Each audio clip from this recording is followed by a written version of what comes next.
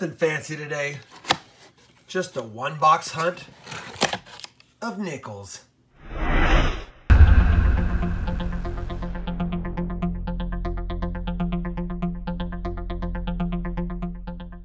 Hey everybody, it's Rob with Rob Finds Treasure, and I'll be hunting a nickel box today. Pretty excited about this one because it's from a bank I don't get nickels from too often, and when I do, they're the kind of boxes that have the nickels standing upright like this. And so it's weird to get a Wells Fargo bank box with a Chase style, if you will, bank box. So I've checked them. There's uh, circulated nickels in the box, which is a good thing. And you guys know what I'm looking for. I'm looking for war nickels, which are the nickels from 42 to 45 that have the mint mark on the back above the Monticello. And I'll be looking for old Jeffersons. Obviously, I'd be loving to find some of the key dates and looking for errors and varieties as well, if we can find them. And you know it. We'd love to find some Buffaloes or some V-nickels. It's been a while since I found a V-nickel, and uh, I'm itching to find one. That being said, let's kick off the hunt with this roll right here and see if we can find ourselves some oldies. Roll number three, and we found our first 40s nickel of the box, a 1949 Philadelphia. Had it been the Denver, we'd be checking for the D over S mint mark, repunched. But it's not it, so let's continue with the hunt.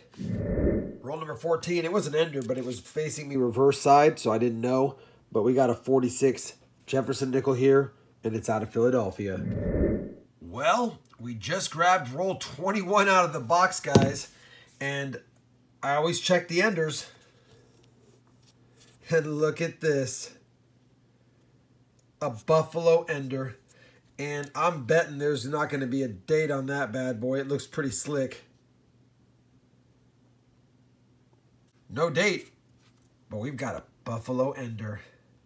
Buffalo Ender. I think about you all the time. All right.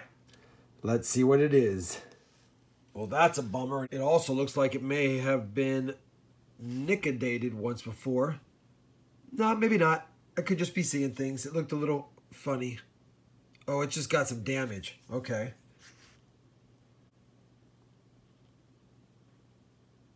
That's tough. Man, this thing is worn pretty slick, and I don't think it has a mint mark either.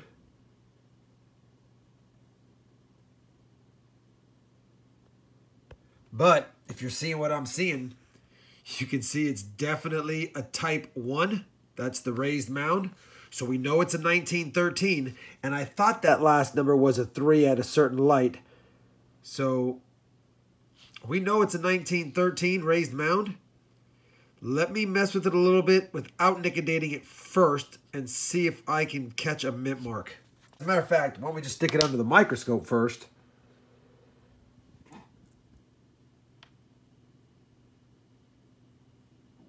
So we know that's the F-I-V-E.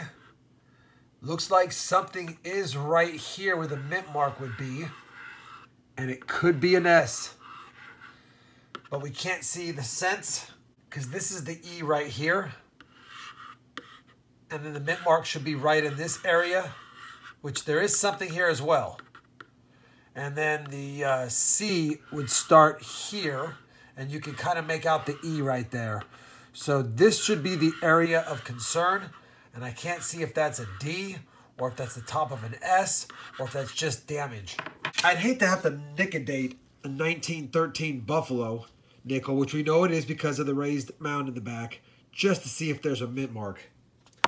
Let me think about this for a second. I'll be right back.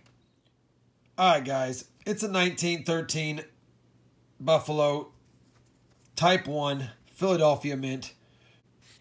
And it destroys my ugly one that I have in its place. So it'll upgrade that. Again, it's beat up. But as you can see, it's better than the spot holder I have in the book. So we'll be adding it to the book, but it's always good to get a Buffalo in the box. 1913, Type 1, Philadelphia Mint. Nice. Roll number 31. 39 nickels and a dime. I'm not mad at it. We take dimes. Be nice it would have been silver. But instead, it's 2018 D. Roll number 34 And look what we got here. It's another 1939, but you know it's going to be a Philadelphia no mint mark. That's what I find. And bingo was his name, oh. It does have a little bit of damage just to make it a little more fun for me, but no mint mark. We'll still take it. 1939p is the second oldest of the box because we got a Buffalo. Roll number 35, and um, I'm 99% sure we've got a silver here. And on my live stream last night, one of my viewers said, Rob, can you please explain to me how you can tell it's silver from the edge? And I want to just go ahead and show that. First of all, most silver will have kind of a greenish tint. You can clearly see it right here. It's got kind of a greenish tint. Now, don't let that fool you. A lot of nickels, like that one down there, could just be dirty.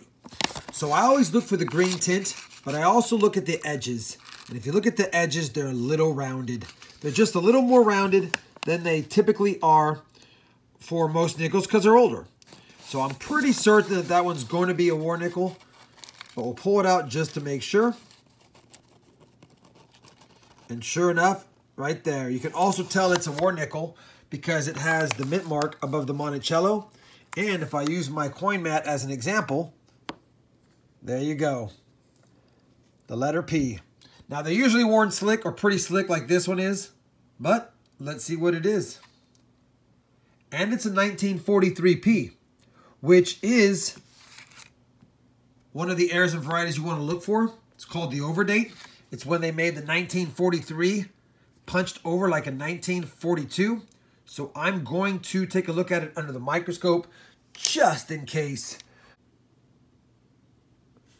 All right, so there's the three. You got some uh, craziness going on there, but I don't see the markers of the 43 over 42. Let me go ahead and take a closer look after wiping it down just with a lint-free cloth, see if I can free up any of that debris. All right, I've wiped it away. I want to point out that what you're looking for on the 43 over 42 uh, overdate is you would clearly see a little light line in here because the two would go like this and come across. So you would see part of the two coming through here as well as a base down here. And I know now that I'm touching the screen, it kind of looks like you could see something here, but it would be a lot more pronounced than anything here that you could see. When I back up, that kind of goes away. But yeah, it would definitely be a two like this. And I don't see, we have a little bit of curiosities down here and a little bit more curiosity down here, but I don't see anything that's saying, yeah, that's it. Anyway, that's what you're looking for.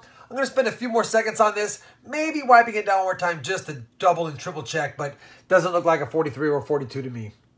So the good news is we got a silver war nickel in the box, and uh, now we got a Buffalo, a 30s nickel, and a war nickel. Can you find a V nickel and a proof and get all of them? Let's get back to the hunt and find out. Well, that Wells Fargo box of nickels is hunted, guys. And you know what? It was actually a pretty good box. We got uh, a couple from 59, 58, 57, 55. It was a 55D, but it's not the D over S. Three 54s. One's an S, but it's not the S over D. We did get a 53 in there.